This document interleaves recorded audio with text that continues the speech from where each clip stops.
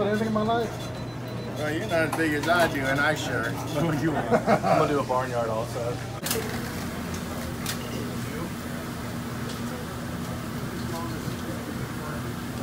I was shocked. I was shocked. The place is always uh, packed and uh, the food is always terrific, so uh, there's just nothing to give you any warning signals. I couldn't believe it, but uh, this is the next meal uh, since we heard the news, and here we are.